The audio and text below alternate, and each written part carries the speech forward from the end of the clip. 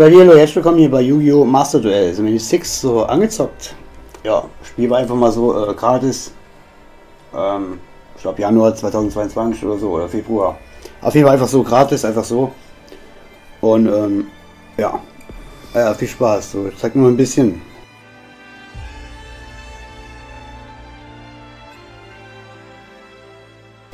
So, erstmal äh, zeige ich jetzt mal äh, einfach so nur mal so, wie, wie ein paar Karten aussehen.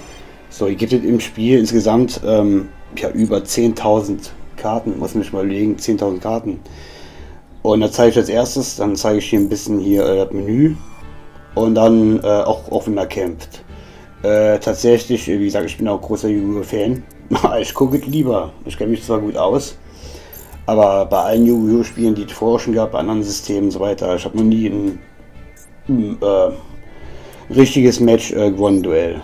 Ähm, ja, höchstens hier Training oder was, oder, äh, also gegen Online-Gegner auf jeden Fall noch nie gewonnen. So kann sein, dass ich gegen Computer vielleicht ein, zwei Mal gewonnen hat oder so, das war aber bei, bei älteren Spielen. Weil jetzt ist das alles äh, ziemlich komplex, also, ja.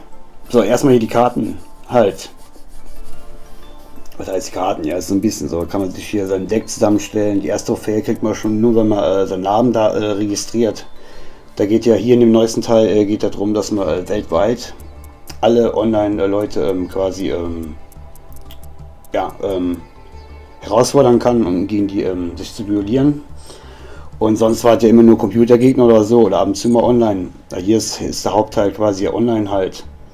So, ähm, ja, so, Deck äh, Solo, ja, da kann man erstmal ähm, quasi erstmal ähm, Training machen oder was, äh, sich darauf vorbereiten und machen kann. So sind noch von allen, äh, mittlerweile gibt es sechs Yu-Gi-Ohs, quasi, also Yugi, da gibt es Jaden, Yusei, Yuma, ähm, so waren vier, ähm, ähm, ähm, ja, keine Ahnung, gibt es noch einen, einen, noch einen, der letzte heißt Link oder so. Und die haben alle hier verschiedene ja, verschiedene Sachen halt. Zuerst gab es Fusionsdinger, dann Panelbeschwörungen, ähm, äh, Beschwörungen und äh, ja, XDs-Beschwörungen und was weiß ich nicht. Jeder hat so seine eigene Stärke gehabt. Plus jetzt hier kann man, was weiß ich nicht, alles in einem so machen, wie man gerade will, so ungefähr, wenn er passt. Muss ich halt damit gut auskennen quasi und ähm, ja.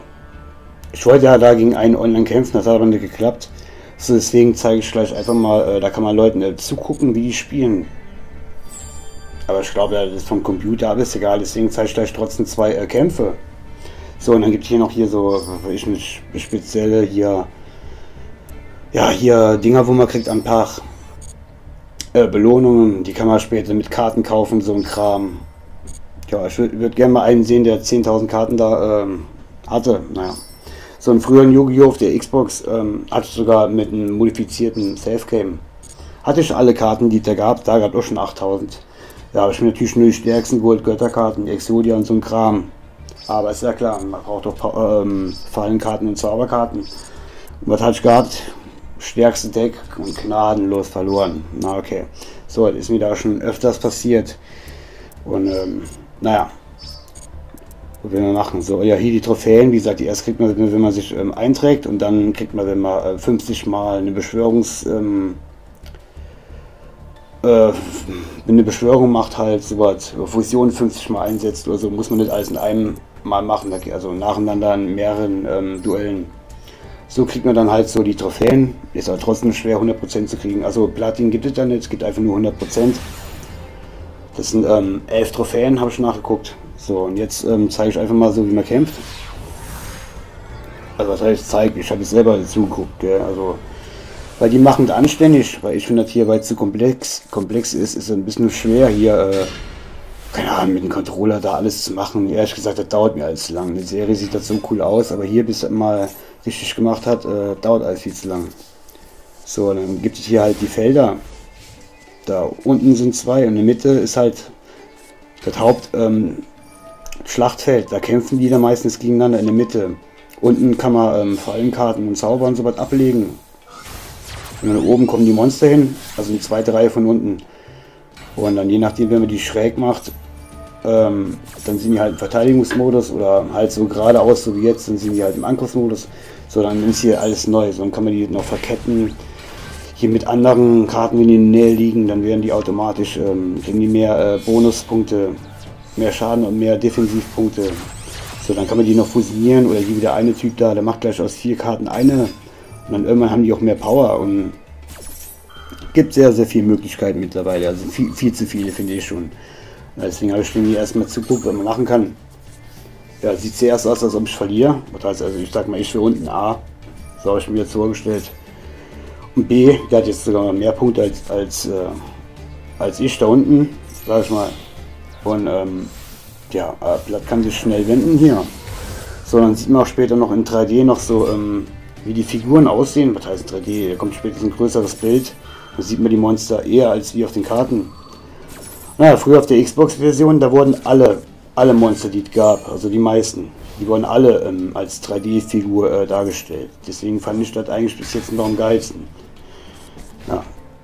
Naja. Wie gesagt, ist komplex. Halt ohne Ende. Da habe ich hier mal ein bisschen einfach mal so geguckt. Hör, da der, der, der, der Fuchs. Ja. ja.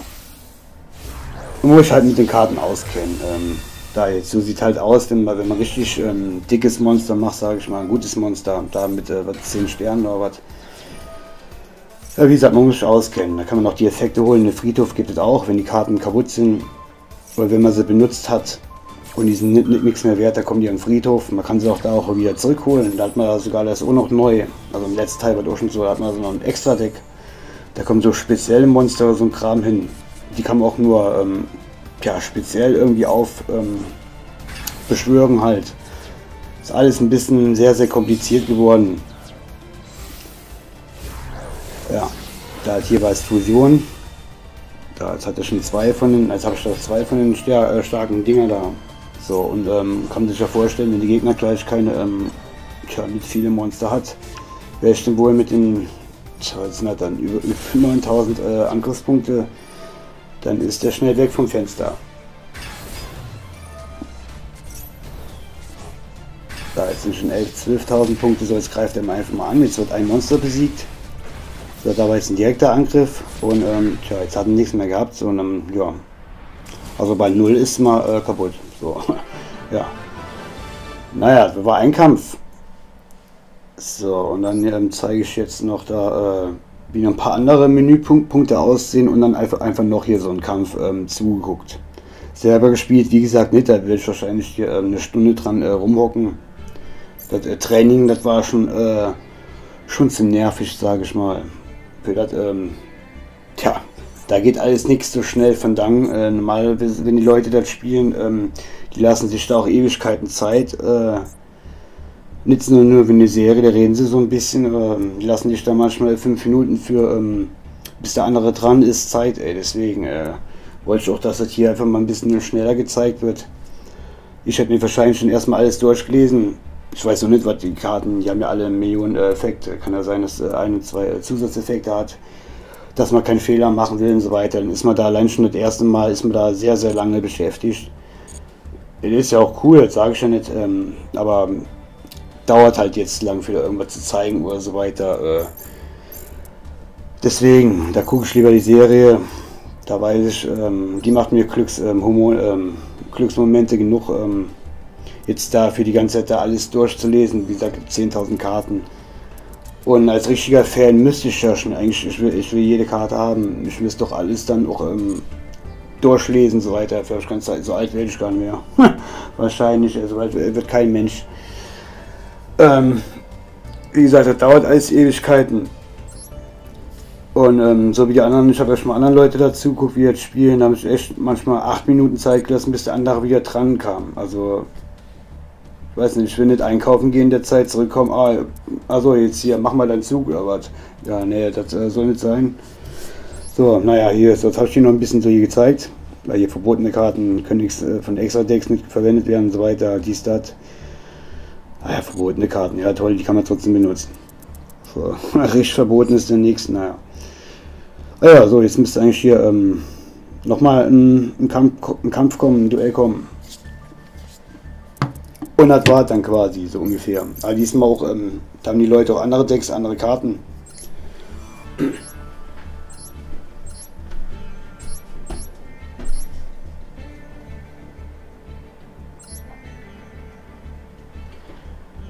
Zeit für ein du du du du Duell. Ja. Duell. Ja. Wie gesagt, ist cool, dass es überhaupt gibt. 10, über 10.000 Karten, das ich mal überlegen. Weil wenn das so ist, so ein Rollenspiel, wo man jeden Gegenstand haben will, ich hätte auch gerne auch dann noch alle Karten. Und dann, ähm, dass man sich dann aus 10.000 ähm, dann ein Deck mit äh, Fetch-Karten oder was, oder mit den drei extra Karten noch dabei. Fetch-Karten ist normal immer ein Deck die da zusammenstellen aus 10.000. Ja, dann äh, viel Spaß. Da muss man sich gut auskennen. Oder ich schätze mal, wenn man dann alle Karten hat, dann hat man dann das Allerstärkste. Darum geht ja auch eigentlich. Deswegen waren auch da die komischen Diamanten und so weiter. Und man kriegt auch, wenn man hier ähm, Duelle gewinnt, kriegt man natürlich auch Punkte. Und dadurch kann man halt immer Karten kaufen. Ich schätze mal, manchmal kriegt man auch welche, ähm, was heißt geschenkt, ähm, ja, kann man gewinnen. Und dann daraus halt dann die Karten, äh, sich ein Deck zusammenstellen. Ja. Natürlich ja gerade alle oben, der ist ein Hamster mit einer Brille. Was unten hat ein Eichhörnchen aus. Okay.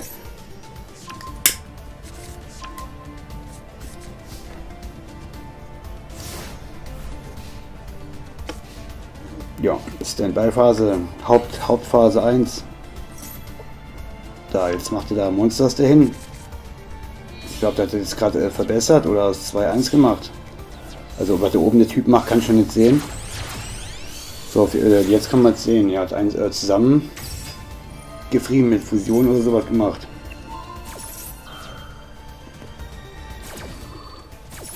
So, macht er da, keine Ahnung. Ja, wie gesagt, alles zu, ähm, tja, schätze mal, selbst wenn man Training gemacht hat, alle vier ähm, ersten Trainingsstationen, selbst dann, ähm, so hat mal gegen den ersten dann online spielt, ähm, braucht man da auch erstmal gar nichts. Na, zum Glück hier links, hier steht ja auch alles. Aber wie viel man da zum Durchlesen hat, allein schon. Wir könnten noch runter scrollen, da wäre noch mehr Text. Da waren bis jetzt alle Karten, die ich schon in der Serie gesehen habe. Geil. Ja. Habe ich alle noch nie gesehen. Darf mal ganz abgesehen. So. Hm. Ja, die machen das ja hier wenig schnell, in drei Minuten ja so ein Match. Mal, wie gesagt, normalerweise sollte eine halbe Stunde, eine Stunde, was je nachdem man gut überleben will, überlegen will und alles richtig machen will. Der ganze Kram da durchzulesen, das dauert schon Ewigkeiten.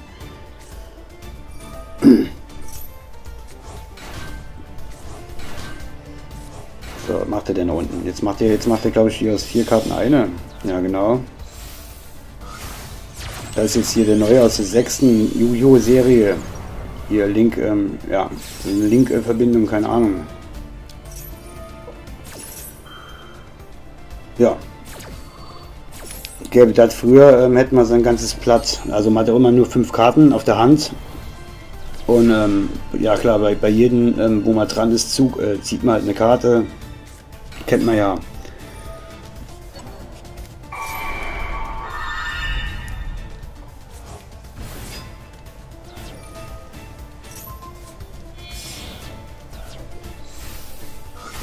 So, wahrscheinlich, weil nur weil die Karten dann eine komische Form, äh, Farbe haben, können wir die deswegen nur zusammen machen, ich weiß nicht. Ich habe die neue Serie da, die sechste Serie habe ich schon geguckt, die ersten fünf, die habe ich alle geguckt, kenne ich quasi auswendig. Mehrmals äh, bis zum Ende geguckt. Sechste Serie da noch gar nicht, die kam ja hier in Deutschland noch nicht, mit Link. Oder VR-Link oder was, wie, die heißt. Also in Japanisch kann man sie gucken. Aber hier in Deutschland kam die nicht, deswegen, naja, kenne ich mich da nicht damit aus. Egal, Victory, äh, ich gewonnen. naja, gut, äh, ja. so, naja. Tja, will man jetzt noch sagen, also mir gefällt es. Ja, hoffentlich hat es Spaß gemacht, bitte liken, abonnieren. Klar, ich hätte es selber spielen können, aber dann, tja, toll. Also wäre auf jeden Fall schon mal Fakt, dass ich da verkackt hätte. Definitiv. Ähm, hätte ich da verloren. Ähm, ja, Deswegen, aber trotzdem Daumen hoch. Das Spiel ist cool, aber muss man sehr, sehr, sehr viel Zeit investieren. Mehr Zeit als wie in irgendeinem Rollenspiel. Deswegen, naja.